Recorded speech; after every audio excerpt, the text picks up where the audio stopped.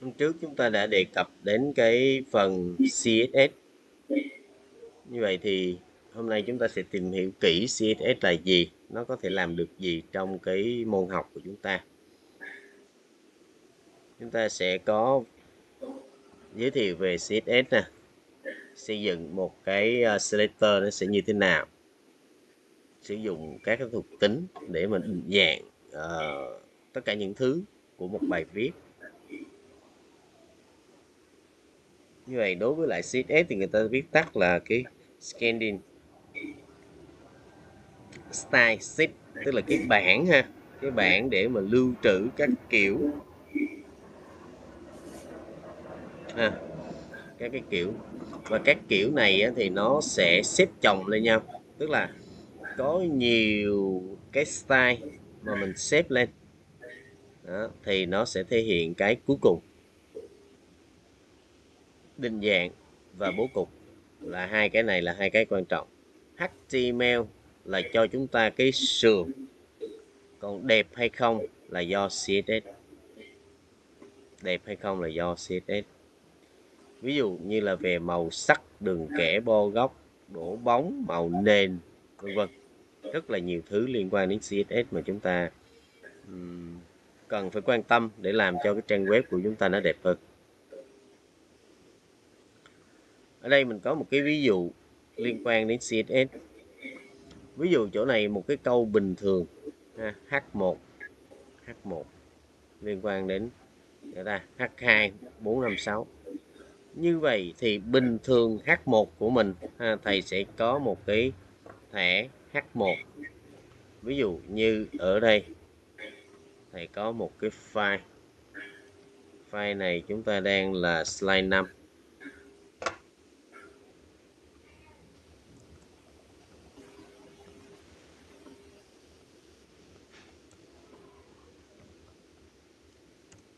Rồi, thầy đang có thẻ ở đây là H1.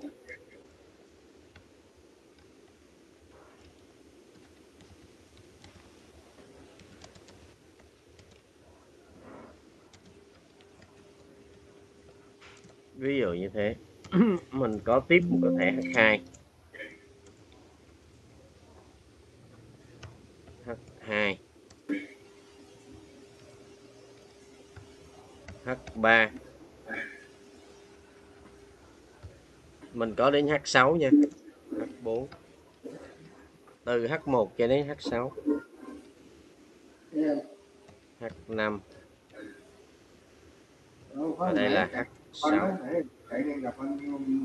rồi, mình sẽ xem nội dung của chúng ta đối với lại 6 câu này nó sẽ hiển thị như thế nào.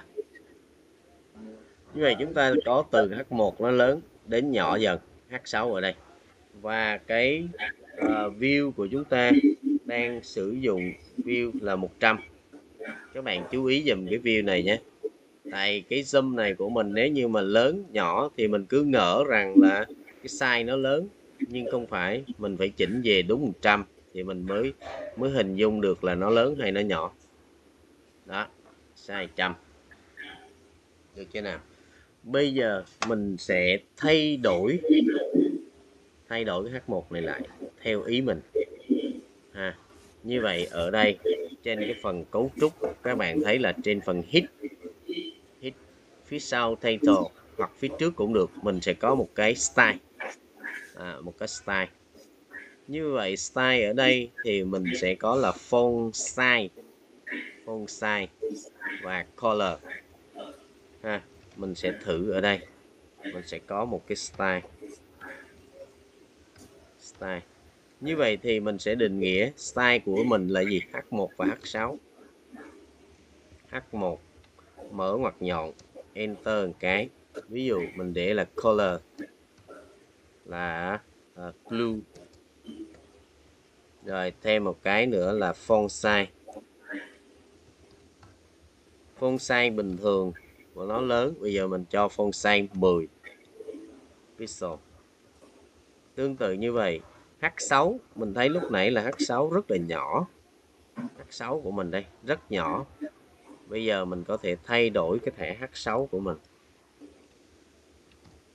H6 của mình cho color, ví dụ red.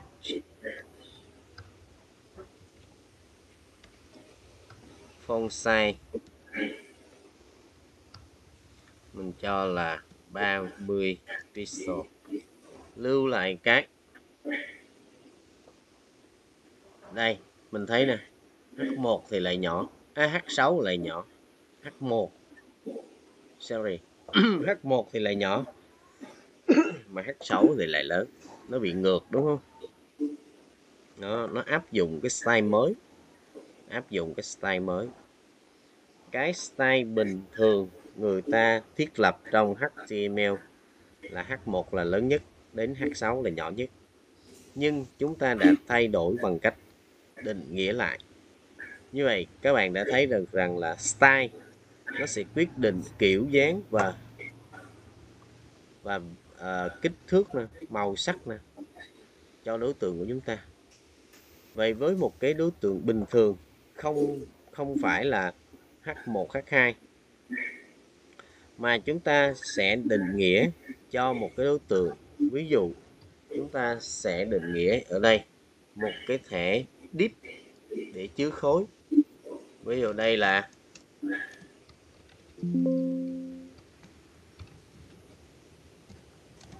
là khối mới. Và thầy xuống dòng cái ha br break để cho nó xuống dòng, lưu lại mình thấy là ở đây đây là khối mới. Nhỏ xíu ha, nhỏ xíu. Bây giờ mình vô mình sẽ định nghĩa lại cho cái đây là khối mới này bằng cách mình gõ style ngay đây. Và chỗ này mình sẽ để font size. Ví dụ như 40 pixel.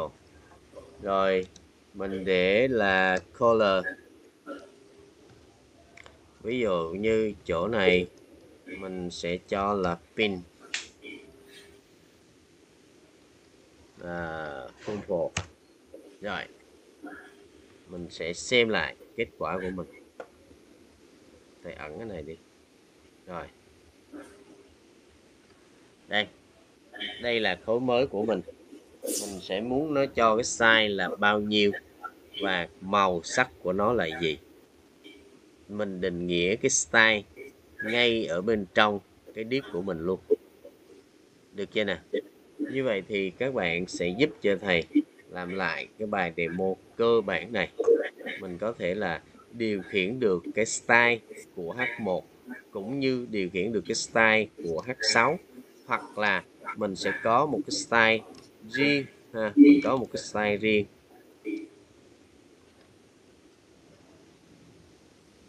Mình có một cái style riêng ở chỗ này. Đó. Như vậy các bạn cốt lại cái chỗ này giúp thầy nhé.